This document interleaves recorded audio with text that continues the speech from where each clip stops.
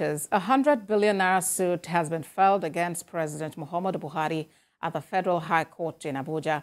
The suit seeks to address the alleged unlawful removal of Senator Ifeanyi Godwin Ararume as a non-executive chairman of the newly incorporated Nigeria National Petroleum Company Limited. Mr. Ararume is challenging the manner he was removed as the NNPC chief after using his name to incorporate the entity. Judiciary correspondent Celestina Area reports.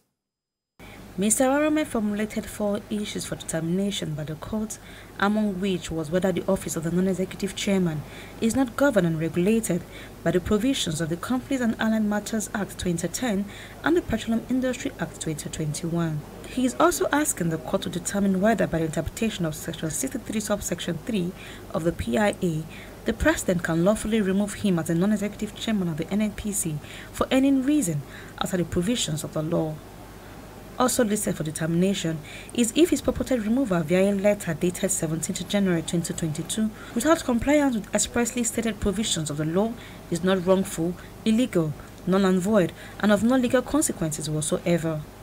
Upon the determination of the issues in his favor, the plaintiff won the court to make a declaration that his position as a non-executive chairman of the NNPC is exclusively governed and regulated by CAMA 2020, the PIA 2021, and the Memorandum of Association of the company.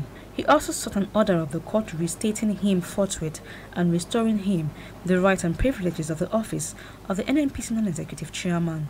At today's proceedings, Justice Inyang Ekwo ordered that the Corporate Affairs Commission be joined as parties in the suit following non-objection from the counsel to Mr. Ararume, Ms. Uche, and counsel to the President.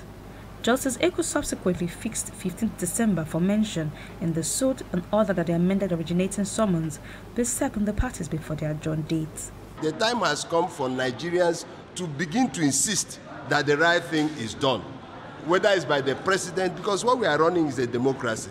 This is not uh, an imperial majesty. This is not a situation where you say the king can do no wrong.